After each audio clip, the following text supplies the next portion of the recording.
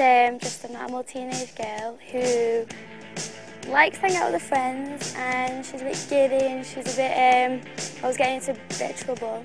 Or did you do it on purpose so I'd find out about you two having sex? Mr. Powers, You don't talk to me, just shut it. It's not Ryan's fault. Get yourself in the car. No, I'm not. I like that she's a bit feisty and that she's, she's quite cocky but also she's quite loyal as well, which is nice. You heard her. She wants to go. Yeah, only because you're bullying her. I'm not. I just thought you'd want to be with me. Yeah, well, I do, but I don't let my mates down. I like that she lets me sort of shout at people when, um, you know, when it's scripted and then when it's finished I can just, I've blown all my anger off then and I can just go home and do what I want. I don't want to see you again. Ever. So believed you!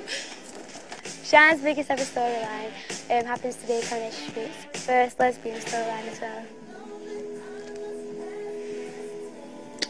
I think partly it's nice because it is a love story and you see how they have the friendships grow into this relationship. It's not just happened. Just don't know where it's come from.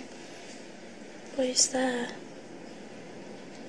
I've really missed you. to be part of this first ever lesbian storyline is just it's amazing because it's amazing that they trusted us with it, especially me being new to the street and with us being so young.